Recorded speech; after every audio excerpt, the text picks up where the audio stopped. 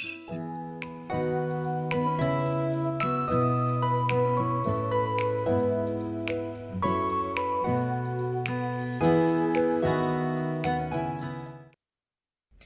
guys, uh, hey guys, welcome back to my channel. I just noticed I never did an intro for this video.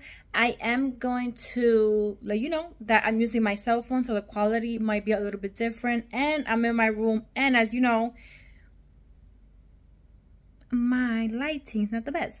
But we're gonna deal with that because it's just a quick intro. I just want to say welcome back to my channel. Don't forget to like share and subscribe. For today's video i have a pilates session and i am going to be adding two strength move although my weights are very low. I made this video for anybody who's starting and who is a little bit scared of weight but anyways let me just talk to you a little bit about this video that I just finished editing. For today's video is all about strength, working on your flexibility, as well as connecting with your body. For those who are trying to push themselves a little bit extra, because I'm the type of person that I have to, I added two strength moves at the end of the video. For upper body, you have curls, and for lower body, you have squat. What you want to do is right after your Pilates session, you just want to go ahead and start those finisher moves. There's no strict rep, no strict set. It's all until failure. So grab your mat, find your flow, and let's get started.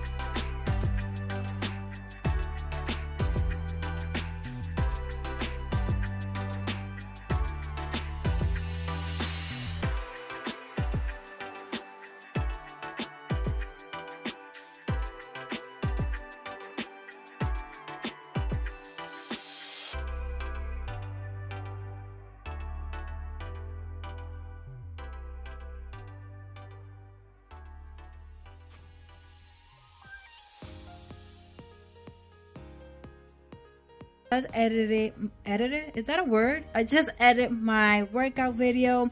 It's more it's more of a pilates session but i also did show you two strength move. My weights are very low.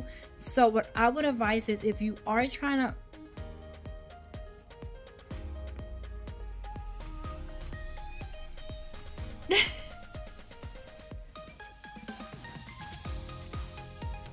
Hey guys, what's up? Just Oki bodies. Who's scared to get Oki body? If you don't know what's an Oki body, that's basically bulking, etc. So guys, um,